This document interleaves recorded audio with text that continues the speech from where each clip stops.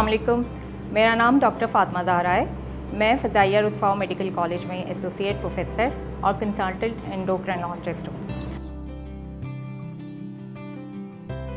आज मैं यहाँ पे आपसे बात करूँगी डायबिटीज़ के कॉम्प्लिकेशन के हवाले से। जैसे कि हम सबको पता है कि डायबिटीज़ की शरह पूरी दुनिया में और खसूस हमारे मुल्क में बहुत तेज़ी के साथ बढ़ रही है।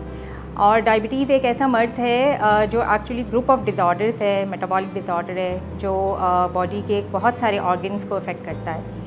प्राइमली ये होता है कि डायबिटीज़ की वजह से ब्लड वेसल्स जो कि डिफरेंट ऑर्गन्स को ब्लड सप्लाई करती हैं, वो ब्लॉक हो जाती हैं कोलेस्ट्रॉल के लेवल्स बढ़ सकते हैं और ये नर्व्स पे भी इफ़ेक्ट करती है, जिससे सेंसेशंस इम्पेयर होती हैं। अगर हम सर से पैर तक देखें तो डायबिटीज़ जो है, दिमाग के ऊपर असरअंदाज होकर फालिज का अटैक कर सकती है, जिसे स्ट्रोक कहते हैं हम।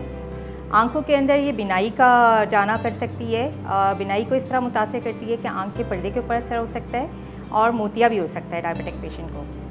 इसके अलावा मुँह के अंदर ज़ख़म हो सकते हैं इन्फेक्शन हो सकते हैं डेंटल कैविटीज़ हो सकती हैं और गम्स के इन्फेक्शन हो सकते हैं। हार्ट के ऊपर असरअंदाज होती है, उसकी हार्ट की वेसल्स को ब्लॉक करके ये हार्ट अटैक करवा सकती है डायबिटिक पेशेंट को। और किडनीज़ को अफेक्ट करके ये किडनी फेलियर कराती है और पेशेंट जो डायबिटिक होते हैं, वो अक्सर डायलिसिस के ऊपर चले जाते हैं।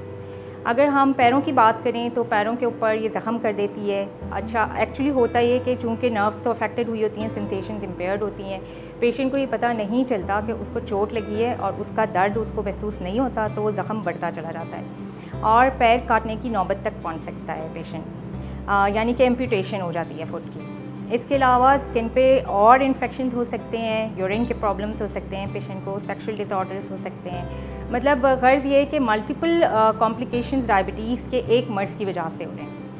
अच्छा इनकी वजह ये नहीं कि जी डायबिटीज़ हो गई तो ये सारे कॉम्प्लिकेशंस हो जाएँगे। एक्चुअली डायबिटीज़ को अगर कंट्रोल रखा जाए तो ये सारे कॉम्प्लिकेशंस को प्रिवेंट किया जा सकता है या इनसे बचा जा सकता है।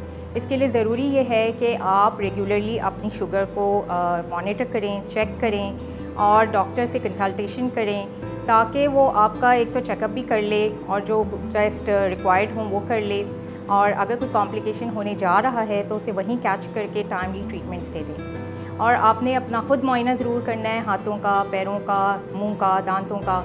अगर कहीं पे भी कोई ऐसा ज़ख़म या कोई अलामत हो रही है तो आप फ़ौर अपने डॉक्टर से कंसल्ट करेंगे। आप अपनी सेहत का ख्याल रखिए अपने लिए, अपनी फैमिली के लिए और अपने मुल्क के लिए। शुक्रिया।